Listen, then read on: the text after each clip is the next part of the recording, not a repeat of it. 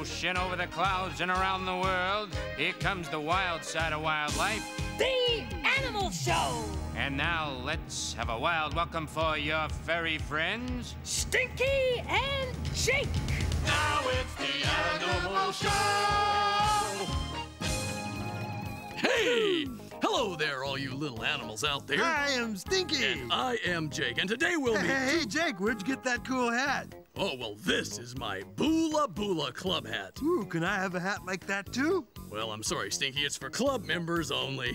Today's guests are a Gemsbok and a moose. Now, a Gemsbok has horns and a moose has antlers. And you've got a hat. Now, me, I got nothing.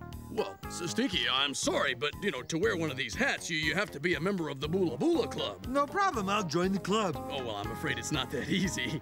Boola Bula Ah. cousin Jake! hey! Pull aboard there, brother Jake. Boola Boola, Bunny and Armstrong! Armstrong and Bunny are members? Well, yes. uh, But you forgot about me, Stinky? Well, Stinky, uh, no, I'm, I'm sorry. It's, uh, uh, we'll be right back. Sti- Stinky, I'm really Stinky. Bula bula, it's time for. That's amazing! Today we meet the unicorn, a horse with one horn at the top of its head. Hold your horses there. The unicorn is a make believe animal. That's right, Armstrong. Hmm. But look, Hey, what do you know? It's a unicorn. that may look like a unicorn, but it's really an animal called a gemsbok. It's the same size and shape as a horse, and when you see it from the side, it seems to have one horn like a unicorn. Well, I'll be. The gemsbok. Eh, another animal that's not a unicorn, but will still make you say. That's amazing. oh, Stinky, I'm sorry you're not in our club and don't have a hat, Uh, but you're not alone. No, very few of us get to wear the Boola Boola hat. Oh, well, all right, Jake. I guess it's okay. Boola Boola Jake. Oh, Boola Boola. Yves is a member? Uh, uh, well, well, our first guest comes to us all the way from the savannas and deserts of South Africa. Africa. Uh, here is Dikembe, the Gemsbok. Stinky, Jake, it is so good to be here with you. Hi, Dikembe. Hello. Uh, Jake, I did not know that polar bears had horns. Oh. Very nice. No, no, no, th- these aren't horns. It's a hat. Uh, but I must say, you have magnificent horns. Ah, these horns are part of what makes me a Gemsbok. Take a look. Oh, oh, Yeah, okay. You see, all Gemsbok have great long horns. yeah. Now, aren't Gemsbok also known as oryx in some parts of the world? That's right, Jake. And there are many kinds of oryx. The scimitar horned oryx lives in northern Africa, and the Arabian oryx lives in Oman, and the East African oryx lives in. In East Africa. That's right, Stinky. some are bigger, some smaller, some have different markings on their body. But we Gemsbok are the proudest, for we have the longest horns of all. Well, what do you use your horns for? We will sometimes use them to attack, Oh. but only when we are threatened. The first thing we try to do is run away. If we can't, then we use our horns. We kneel on our front legs and put our head down so that we can bring our horns up and into our attacker. Well, can't you just fly away? Fly away. Yeah, the way those Gemsbok are wiggling their ears looks like you could just fly away. that it does, Stinky. But Gemsbok can't fly. But flapping our ears and tails does help us keep away flies, mosquitoes, and other pests. Hmm. A Gemsbok can outrun most attackers, but there's no escaping flies and mosquitoes. How true. Hmm. Now, Dikembe, how do you survive in the desert-like area where you live? It's so hot. There, there can't be much food or water. Mm, we use all of our senses to find what we need to survive. Hmm. You see, a Gemsbok's ears aren't just good for chasing away flies. We have very sensitive hearing, and we also have a very good sense of smell. But how does hearing help you find water? Well, we Gemsbok can actually use ears and our nose to sense if it's raining somewhere. When we pick up the sound and smell of a rainfall, the whole herd will take off in that direction and travel hundreds of miles if we have to. Well, that's great for finding water, but where do you find enough food? We eat lots of grass, and you can find that almost everywhere. We even eat the roots of plants that are naturally filled with moisture. Well, it seems you know all the tricks for surviving in the desert. Uh, it's very simple, really. Stay in the shade, Try not to waste too much energy and eat whatever puts extra water in your body. Well, I bet it would help to wear a hat. Mm-hmm. The Stinky wants a hat like mine. Oh, it is a fine hat, especially the horns. Well, they're not real, and I don't imagine they're as useful as your horns. Mm, you'd be surprised. We don't really use them that often, except when we defend ourselves. We knock heads or else we lock horns and twist and pull. We never use the point of our horns to wound another Gemsbok, but fights between Gemsbok don't happen often or last very long. In the hot desert sun, we cannot afford to waste energy fighting with each other. Mm, hear that, Stinky? Let's not waste energy fighting with each other. Well, maybe you're right. Now can I have a hat? Uh, th- th- th- well, Dikembe, thanks for showing us what life is like for the Gemsbok. Mm, always a pleasure to talk to other animals, especially one with such a fine hat. Oh, Ah, bye. So long. bye.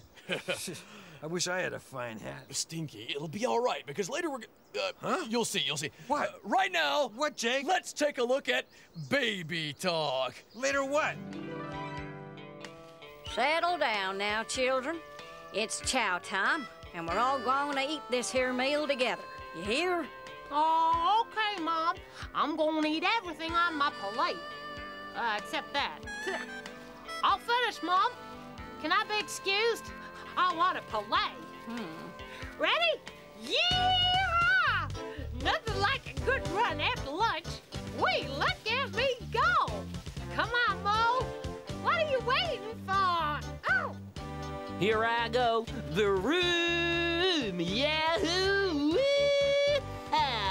Woo-ha! I take it you two don't want any dessert. you know what? I'm kind of hungry. I could use some dessert. Yeah, yeah, me too. What is there? Baranches. I don't really like baranches. Do you? Nah, but it's okay, because you know what? I'm still full from lunch. And now it's time for a song. Uh, what's the name of the song? Stinky, look! Huh? Without a hat. What? Nothing. Did you? I heard that. Well, you can talk real tough, huff and puff, say you didn't mean it, and all of that stuff, but you can't do that. Oh no, you can't do that. You can't do any of that without a hat. Can't do any of that without a hat. Can't of that. Well, you can be real brave, be real bold, overcome the danger just as good as gold, but you can't do that. You know you can't do that. Oh, you can't do any of that without a hat. Now, Stinky, I wish you wouldn't get so upset. What would I be upset about? That's easy. You're upset because you don't have a hat. Are you ready for a tougher quiz? We're ready. Then here it is.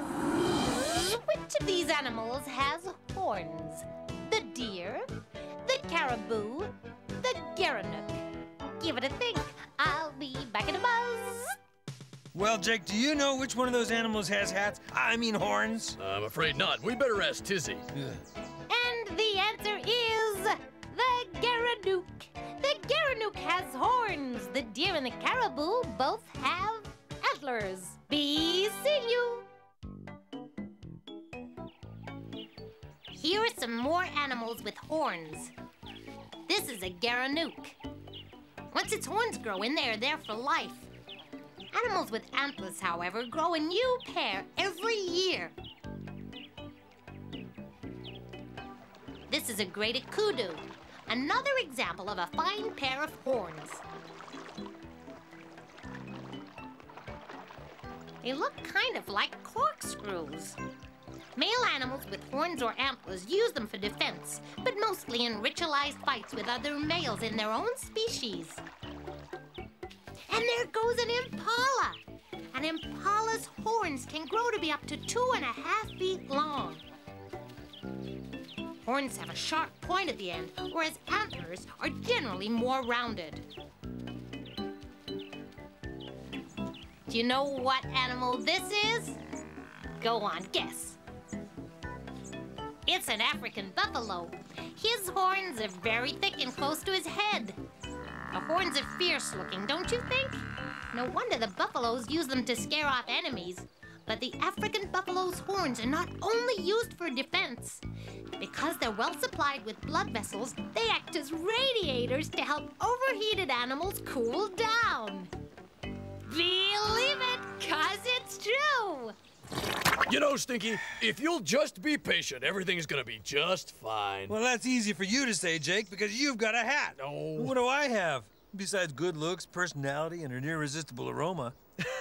And speaking of irresistible aromas, let's get cooking with Eve Saint Larouche. Bonjour, bonjour, mes petits animals. Today, I will show you how to cook in a hat. Now, when you are cooking in a hat, you need one thing above all else a hat. Follow me. And here is a hat. Hat. And now my beautiful assistant, Bunny, Bunny? will put in the ingredients. Ingredients. And what have we got? Ooh, we've got some beautiful spaghetti. Spaghetti. Into the hat it goes. What else have you got? Beautiful crisp lettuce. Lettuce. Lettuce. Oh, lovely and crisp and fresh. What else have you got? Oh, look, we have some Eggs. egg. Egg. Oh, this lovely runny egg. I like that. And then we mix and mix and mix and mix. ah. In Australia, you mix the other way. That is absolutely right. And voila, you have a meal in a hat. Taste it, Evie Weevy. Wow, Bunny, it is delicious. Well done. Thanks, Yves. So remember, never eat a hat full of food unless, of course, you have a head of lettuce. You know, Stinky, not everybody has a hat. The Gemsbok didn't. But he had horns. And our second guest doesn't have a hat either. I bet you he has horns too. No, he has antlers. Same thing. Uh-uh. No, it's hmm? not, as we will find out. From North America, America. here is Ralph the Moose. I'm sorry there. Oops, Daisy coming through. Wide alone. Hey, Ralph, nice hat. I know it's not a hat. No, no, siree, Bob. These are antlers. Well, tell us, Ralph, what's the difference between antlers and horns? I'm glad you asked. Now, see there? Those are moose. I'd know him anywhere. In late summer, the male moose will grow a new set of antlers every year. Well, doesn't the female moose grow antlers? No, they don't, just the male. And that's the big difference between antlers and horns. What happens to the old antlers? Oh, they just fall off, or they get knocked off. But that's okay, because when the new set of antlers grow in, they're bigger than ever. So the bigger a moose's antlers, the older the moose, right? That's right, Jake. There's no use that big fella in the back lying about his age. You can tell by his antlers that he's been around a while. Looks like it's starting to get cold. Yeah, and those moose are eating all they can to get ready for the winter. That's a tough time for moose, because it's hard to find leaves and grass. Uh, That's what we eat. You must eat a lot to get that big. We certainly do. More than 20 pounds of food a day. And in winter, we sometimes can't find that much food. We get weak, and we're easy prey for wolves and bears. Bears? I'd never. Well, I know you wouldn't, Jake, but some bears would.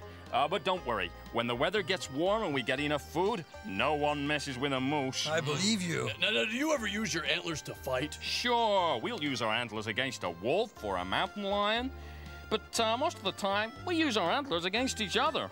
Two male moose might be fighting over the same female, or trying to decide which moose is the leader of the pack. Now, is that what these moose are doing? That's right. See how they lock antlers and tussle, Yeah. trying to push each other back and forth? Mm -hmm. That's the way they test their strength. It's like a tug of war or arm wrestling, and usually it's pretty easy going.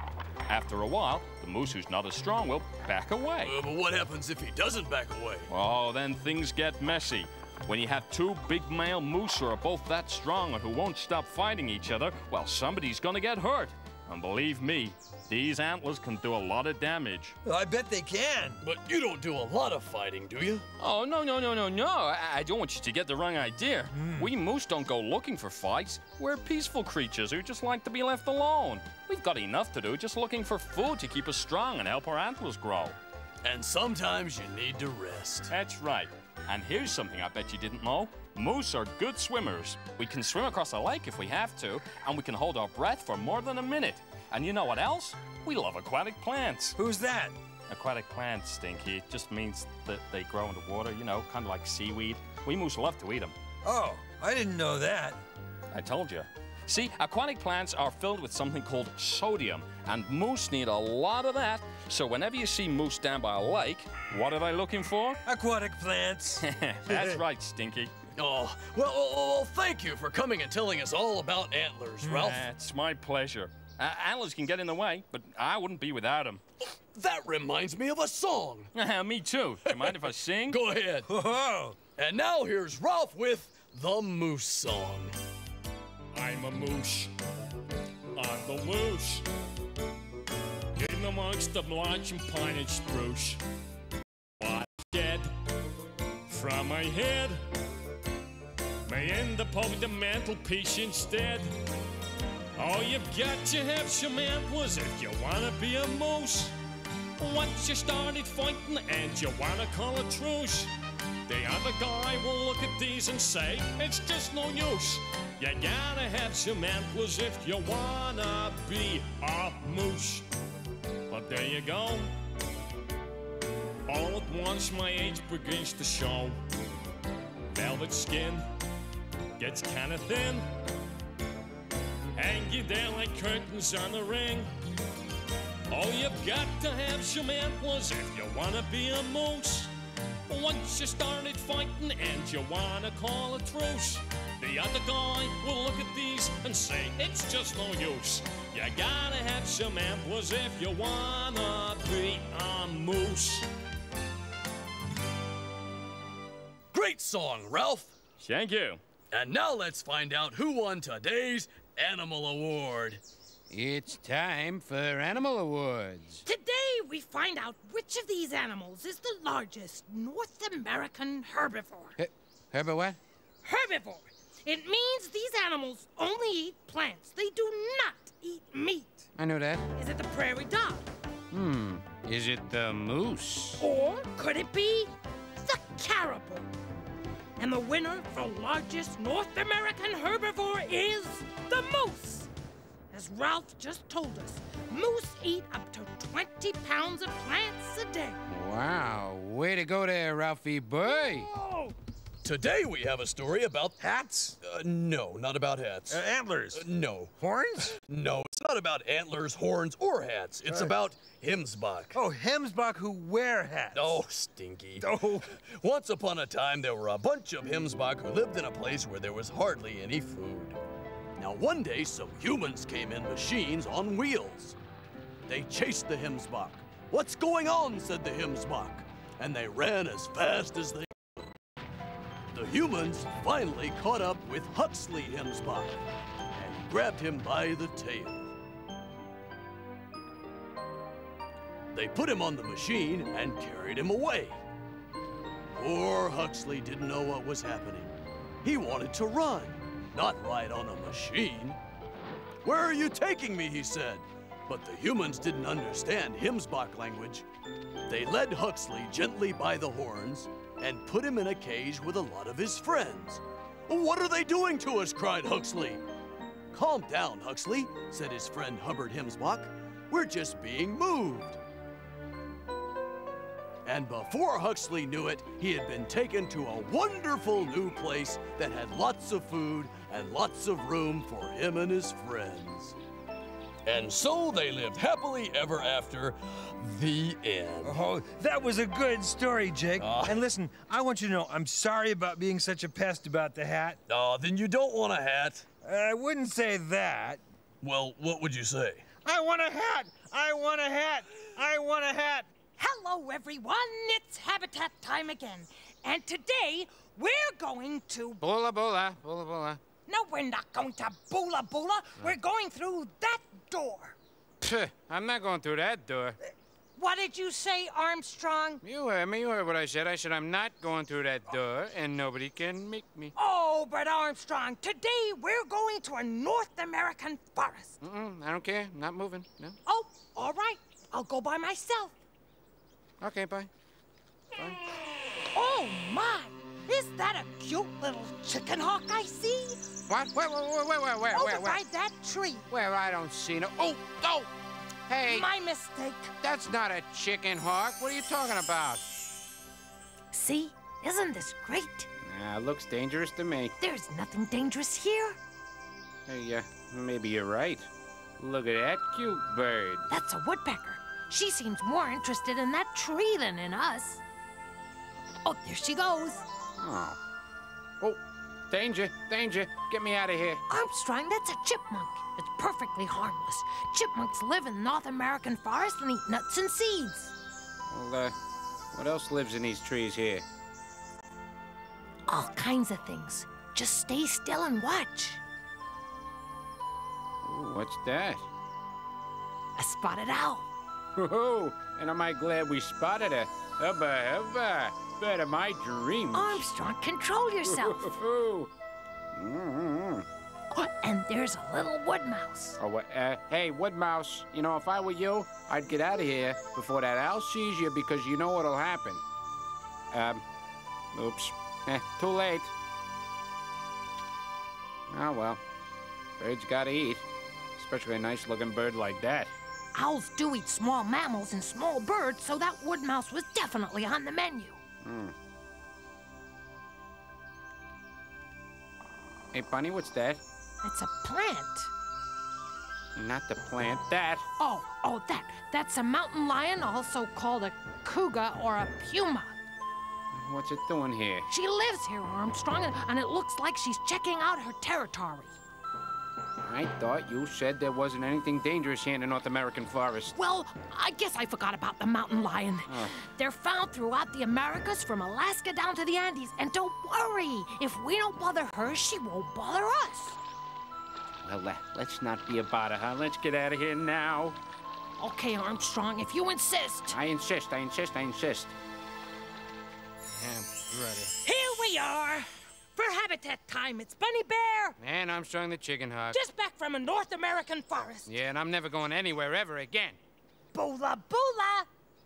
I want a hat. Here comes I want a Sticky and hat. Jake. I want a hat. Oh, Jake, I guess you haven't told Stinky about the surprise. Huh? Wait, what, what surprise? What Uh, never mind, didn't say a thing. Time for the quiz, yeah, and no. here it is. Then the question is, which of these animals makes this sound? The lion, the elephant seal, the hippo, or the toad? Give it a think. I'll be back in a buzz. What surprise? Nothing. Now, do you know which of those animals makes this sound? What surprise? no, that's not the answer. Let's ask Tizzy. And the answer hippo. That's the animal which makes this sound. Believe it, cause it's true. Thanks, Tizzy, for a swell quiz. What surprise? Just a second. And thanks to today's special guests, Dikembe the Gemsbok and Ralph the Moose. Thank you, Stinky. Thank you, Jake. And there you go. What's going on around here? This is part of the surprise. Now kneel down. Yeah, yeah, go ahead. Close your little eyes. We welcome you. As the newest member, Of the Bula Bula Club. Oh, oh my goodness, my own. I've got my own hat. Yeah. Yeah. Who turned out the lights? Oh, until next time, keep seeing the world through the eyes of animals. Oh. Bye.